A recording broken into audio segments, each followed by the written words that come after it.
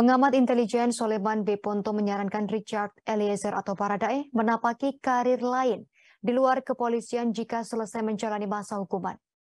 Menurut Soleman B. Ponto, lebih baik Eliezer merelakan karirnya di kepolisian. Soleman mengatakan vonis satu tahun enam bulan penjara dalam kasus pembunuhan Brigadir J adalah hukuman yang ringan, sudah lebih dari cukup. Ia pun menuturkan lebih baik Eliezer melupakan karirnya di Polri Soleman berujar masih banyak jalan lain untuk mengabdi kepada negara, tak harus menjadi polisi. Nasib karir Richard Eliezer sebagai anggota Korps Brimob kini bergantung pada sidang Komisi Kode Etik Polri atau KKEP yang segera digelar. Sebelum terlibat perkara tersebut, Richard merupakan anggota resimen pelopor Korps Brimob. Di sisi lain muncul kekhawatiran jika Richard dipertahankan justru bisa menjadi bumerang bagi Polri. Sebab meskipun Richard difonis rendah karena ditetapkan sebagai saksi pelaku atau justice kolaborator dalam perkara tersebut, ia tetap dinyatakan terbukti bersalah turut serta dalam pembunuhan berencana terhadap Yosua. Secara terpisah, peneliti bidang kepolisian dari Institute for Security and Strategic Studies ISESS Bambang Rukminto mengatakan, jika Polri mempertahankan Eliezer, maka mereka bisa dianggap tutup mata terhadap anggotanya yang melanggar hukum atau melakukan kejahatan hingga difonis bersalah. Menurutnya bila tak dilakukan PTDH atau pemberhentian dengan tak hormat, Polri sebagai organisasi penegak hukum akan dianggap permisif.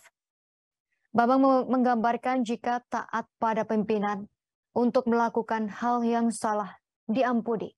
Artinya anggota Polri permisif pada pelanggaran dan jauh dari semangat membangun polisi profesional. Bambang juga menyinggung terdapat perbedaan landasan hukum dalam mengatur tentang sanksi PTDH bagi polisi yang terbukti bersalah melakukan kejahatan.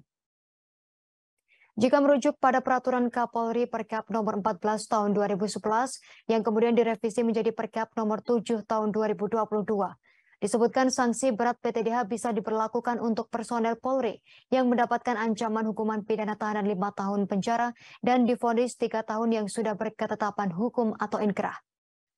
Jika merujuk pada aturan tersebut, Babang menyatakan ada peluang Richard Eliezer bisa kembali aktif sebagai anggota Polri. Babang mengatakan perkap itu bertolak belakang dengan peraturan pemerintah PP nomor 1 tahun 2003. Di dalam PP nomor 1 tahun 2003 disebutkan sanksi PTDH berlaku pada personel yang difonis pidana tanpa batasan waktu. Sebelumnya, kuasa hukum Richard Roni Talapesi menyampaikan kliennya sangat berharap bisa kembali bertugas menjadi anggota BRIMOB jika sudah selesai menjalani masa tahanan. Secara terpisah, Ibu Richard Eliezer, Rineke Alma Pudiang, mengatakan sang anak berharap bisa melanjutkan karir di kepolisian. Rineke mengatakan Richard tetap bersemangat melanjutkan cita-citanya sebagai anggota Polri dan tak pernah berpikir untuk berhenti menjadi polisi. Sebab dikatakan Rineke, profesi Richard Eliezer sebagai anggota Polri khususnya Brimob diraih setelah melalui maksud kami melalui perjuangan yang tak mudah.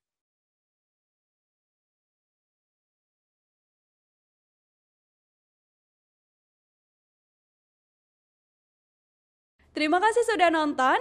Jangan lupa like, subscribe, dan share ya.